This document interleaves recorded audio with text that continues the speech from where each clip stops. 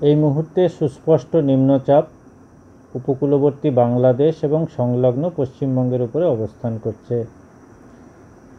এবং এই সুস্পষ্ট নিম্নচাপের প্রভাবে আঠাশ থেকে তিরিশ তারিখ দক্ষিণবঙ্গের সমস্ত জেলাতেই হালকা থেকে মাঝারি বৃষ্টি এবং কিছু জায়গায় ভারী বৃষ্টি এবং কিছু জেলাতে ভারী থেকে অতি ভারী বৃষ্টির সম্ভাবনা থাকছে। আঠাশ তারিখ আজকে মূলত উপকূলবর্তী দুটি জেলা, আমাদের নর্থ সাউথ চব্বিশ পরগনা, পূর্ব মেদিনীপুর, হাওড়া, হুগলি, পূর্ব বর্ধমান।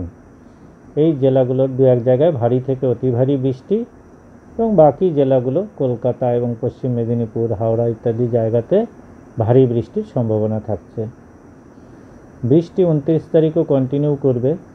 উনত্রিশ তারিখ আমাদের যে পশ্চিমের জেলাগুলো আছে পুরুলিয়া, বাঁকুড়া, পশ্চিম মেদিনীপুর, পশ্চিম বর্ধমান, ঝাড়গ্রাম এইসব জায়গাতে দু এক জায়গায় ভারী থেকে অতি ভারী বৃষ্টি এবং বাকি যে জেলাগুলো আছে সেখানে ভারী বৃষ্টির সতর্কতা থাকছে। তিরিশ তারিখ বৃষ্টি অনেকটাই পশ্চিমে সরে যাবে। বৃষ্টিটা বেশি হবে ঝাড়খণ্ডের ওপরে।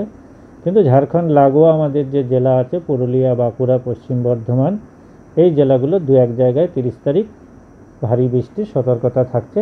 বাকি জেলাগুলোতে সেরকম কোনো সতর্কতা থাকছে না। ফিশারম্যানদের আমরা সমুদ্রে মাছ ধরতে যেতে আগেই নিষেধ করেছিলাম।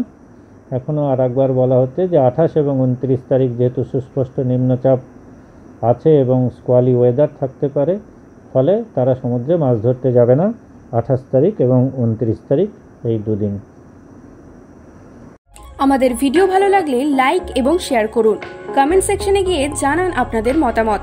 আরও ভিডিও পেতে আমাদের চ্যানেল সাবস্ক্রাইব করুন এবং প্রতি মুহূর্তে খবরের আপডেট পেতে প্রেস করুন বেল আইকন